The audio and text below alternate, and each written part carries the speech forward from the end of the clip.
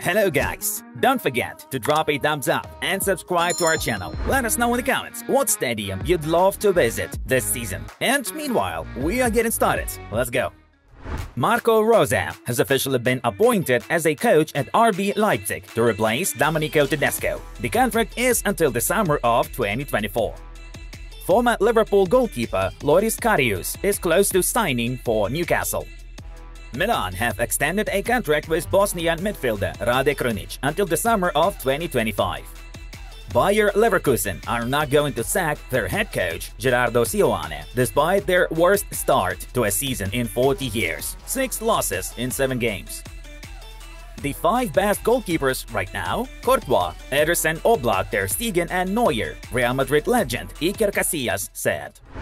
Friends, a minute of your attention. We have great news from our friends, the OneFootball app. In addition to other great features of this application, which we have already recommended to you several times, there is another one that will totally please you. From now on, the UK and Ireland residents will have streams of Italian Serie A fixtures available for free. Every Saturday, you'll have one evening match to watch and also be able to get access to all game reviews. Very convenient stuff. The next clash to watch for free is Sampdoria with Milan battle. What could be better? Top-notch football for free. Be quick to download the OneFootball app. Link is given in the comment section. UEFA named Robert Lewandowski the player of the week in the Champions League. The former coach of Spezia and Genoa, Thiago Motta, will become Bologna's head coach, replacing Sinisa Mihajlovic. Former Manchester United and Chelsea midfielder Juan Mata has arrived in Istanbul to sign a contract with Galatasaray. Besiktas have announced the signing of Nathan Redmond as a free agent on a one-year contract. Saudi Arabia, Greece and Egypt are set to submit a joint bid to host the 2030 World Cup. Wolverhampton have reached a full agreement to sign Diego Costa as a free agent. The Conference League game between Nice and Köln started almost 40 minutes late due to violent clashes between fans. One of the fans is in serious condition.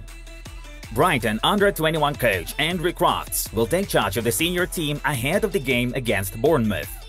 Adam Lallana, who has suffered an injury until October, will become his assistant. Galatasaray have confirmed the signing of Mauro Icardi on loan from PSG. The French club will cover 60% of his salary. Kylian Mbappe's goal against Juventus after Neymar's magically lobbed pass has been named the best in the Champions League first round. Seven players have been nominated for the Best Player of August in the Premier League. Erling Haaland, Wilfried Zaha, Gabriel Jesus, Alexander Mitrovic, Nick Pope, Pascal Gross and Rodrigo.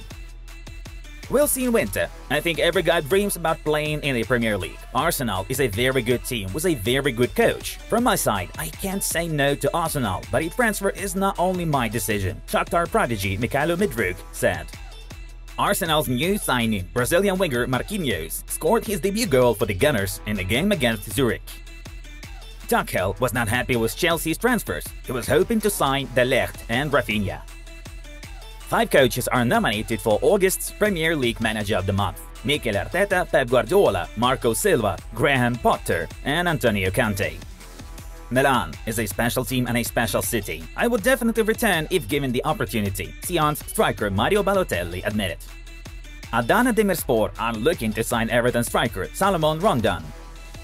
Former Real Madrid midfielder Casemiro for the first time appeared in Manchester United's starting 11. It happened in a Europa League clash against Real Sociedad. Luton's head coach Nathan Jones is a potential candidate to replace Graham Potter at Brighton. Galatasaray have initiated talks over the transfer of Wolverhampton winger Adama Traore. Leeds United plan to sign Red Bull Salzburg and Swiss international forward Noah Okafor. Crystal Palace intend to start negotiations with Wilfried Zaha to offer a contract extension in the coming days. Aston Villa midfielder Douglas Luiz can sign a pre-contract with Juventus this winter to join them as a free agent in the summer of 2023. Norwich winger Milot Rashica signs for Galatasaray has already arrived at the camp of his new club. Football Manager 2023 will be released on November 8. The game will have officially licensed UEFA competitions. Tuchel did not expect to be fired from Chelsea. On Wednesday morning, he arrived at the training ground to start preparing the team for the game against Fulham. Sevilla are going to sack Julen Lopetegui if the team loses to Espanyol this weekend. Lazio's Europa League match against Feyenoord became the 300th for Sergei Milinkovic-Savic in the Roman club's jersey. Manchester United are willing to reward Marcus Rashford with a new five-year contract. The European competitions are underway. 32 games took place yesterday in Europa and Conference Leagues. Let's have a brief look and proceed to the top news. Manchester United have a nightmare start to their European competition journey. Even their Europa League debutant Ronaldo was helpless that night. The Portuguese striker started in United's lineup but was unable to score. Real Sociedad's Brais Méndez found his opportunity from the spot and achieved a victory for his team at Old Trafford. As for Arsenal, their almost reserve squad still got a victory over the Swiss champions from Zurich. Marquinhos and Eddie Nketiah scored for the Gunners. They also assisted each other. The Failures of the Day award belongs to two Italian teams. Jose Mourinho's his super squad at Roma somehow managed to lose against Ludogorets in Bulgaria, despite using nearly his best 11. Colley and Nonato are the goal scorers for Ludogorets, while Shomurodov scored a goal for the Giallorossi. Another sensation, now in the Conference League, happened in Florencia, where Fiorentina played a 1-1 draw with a pure debutant to the European competitions, Latvian RFS. 7 goals trailer for Villarreal against Lech. The 62nd minute marked a score of 3-3, but Coquelin's late winner brought 3 points for the Yellow Submarine. Chelsea have officially announced the appointment of Graham Potter as their new head coach. The 47-year-old Englishman has signed a five-year contract at Stamford Bridge. It's also known that Brighton will receive a £21 million offset fee for parting with Potter and his coaching staff. Graham had already arrived at the Chelsea camp and was introduced to the team. This weekend's Premier League matches are almost certain to be postponed following the death of Queen Elizabeth II as the United Kingdom enters a 10 days period of mourning. This means the sporting schedule in the whole country has to be halted as a result. There is no official announcement from the Premier League yet, although the games of the Sky Bet Championship and lower divisions that had to be played on Friday have already been rescheduled.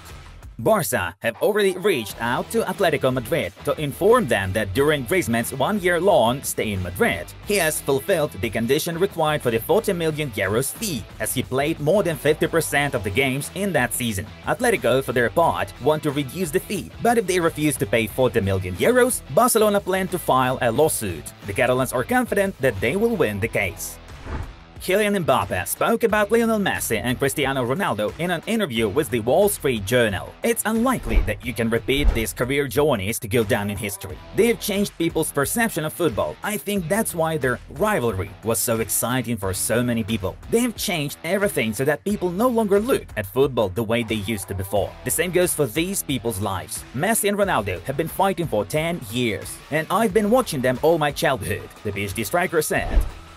PSG have already started thinking about a possible replacement for Lionel Messi for next season. According to Futbol Total, Paris Saint-Germain may already be aware that Messi has decided to leave Paris next summer. And we recall that Lionel already has an offer from Barcelona. The PSG board is considering the option of replacing him with Atletico star Antoine Griezmann. Futbol Total reports that the Paris club is willing to pay the Frenchman around 35-40 million euros per season. Griezmann's contract still belongs to Barcelona, while the Catalans will will easily let go of the player who has the highest salary in the club. Antoine is currently playing at Atletico on loan, which is valid until the end of the year.